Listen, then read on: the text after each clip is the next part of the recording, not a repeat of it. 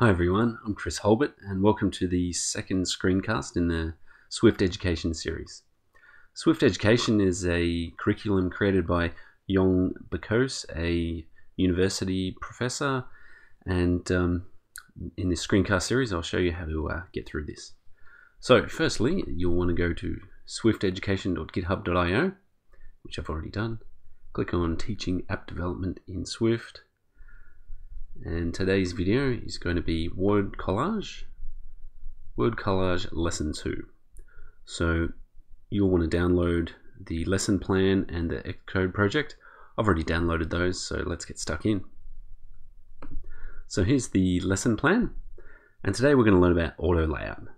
So auto layout is how you lay out things on the screen so that when you rotate your device they end up in a sensible location so here's the downloaded project files.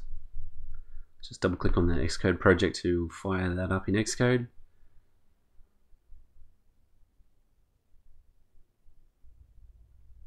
Great, here we are. All right, we'll use the project navigator. That's command one. And we'll find the main storyboard. Here we go. Notice how it's laid out in a square screen. I'll just close this so you can see a bit better. Notice how it's laid out square. This is because you're laying it out so that it can work on both landscape and portrait mode.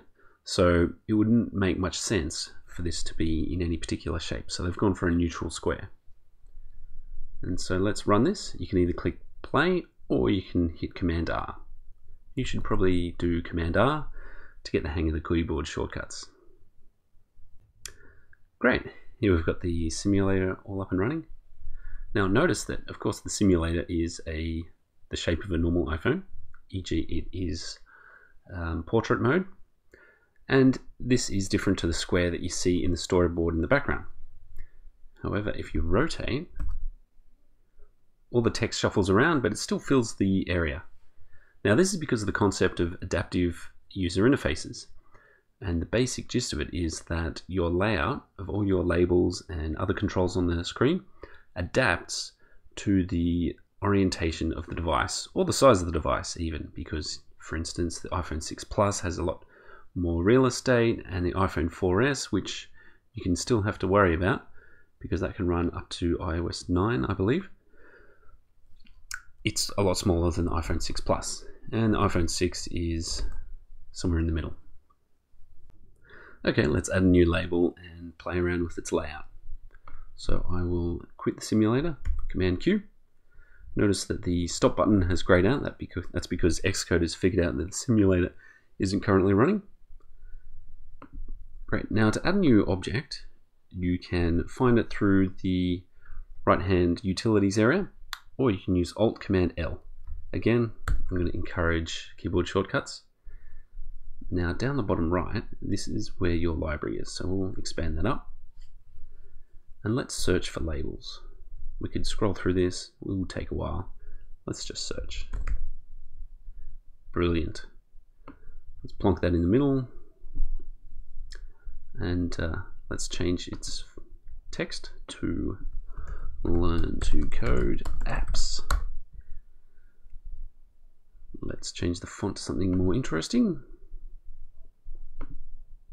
Hmm. Let's get more option. Let's go for custom. Now we're talking. Look at all these options. Papyrus. Why not? And let's crank the size right up. Now notice that it's got a dot dot dot. That's because the label doesn't quite fit its text. And so rather than truncate harshly, it does a dot dot dot, which is slightly better. All right, let's position this in what we think to be the middle and run it and see what happens. Notice it's uh, off to the right. It's not really centered, is it?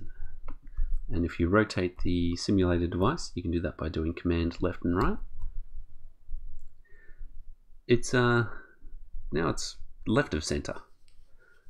So this isn't quite right. And um, the issue is that we haven't actually set any constraints. What we need to do is set a constraint on that label so that it's centered and uh, we'll go into that now. Okay, now we're going to set up our first constraint on this label. So let's make sure the label is selected. And uh, this is the pin control down here. Now, most people just call it the TIE Fighter. I can, I'm sure you can figure out why. And now let's give it a constraint to the top of the screen. Let's make it 20 points from the top. And click this little red bar. So put in the 20 again. And that enables that constraint. Now this isn't committed or added until you click the button down here. So we'll add that constraint. Now notice how it's added a orange bar. What that means is there's a constraint, but the actual position of the view on the screen doesn't actually uh, meet up with what the constraint says it should be. So what we'll do, we'll select the label, click on the down here and click on update frames. And that has updated the label so that it is where its constraints say it should be. And notice how it's gone blue. See this little line above it? That's the constraint. Now it's gone blue. However, we haven't given a constraint to determine where it should be in the x-axis, as in left and right.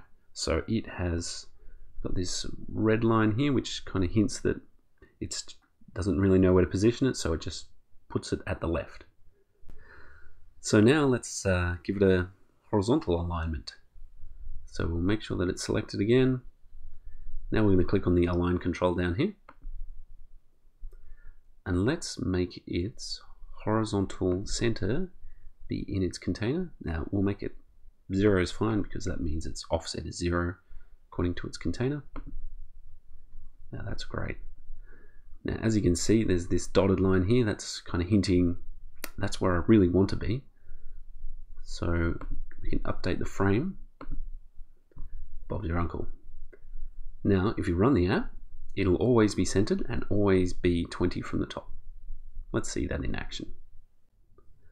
So as you can see, when the iPhone is in landscape mode, it's centered. Also, when you are in portrait mode, it is also centered. So there we go, we've set up a couple of constraints and the label now is always centered and always near the top. That's great. Great, now I'm going to show you how to resolve auto layout issues. So let's drag this label out so that it's not where its constraints say it should be. See how there's a little orange arrow here.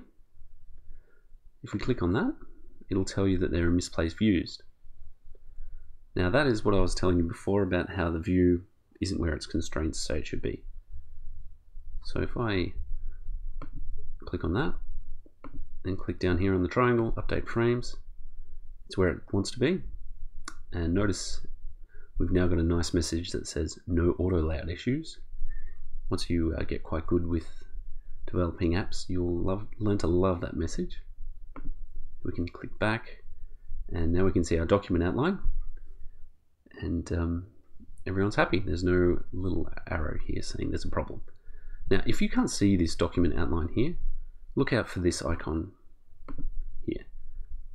That's the one you want to click to make it open and close. Great. Great, thanks for watching. See you next time.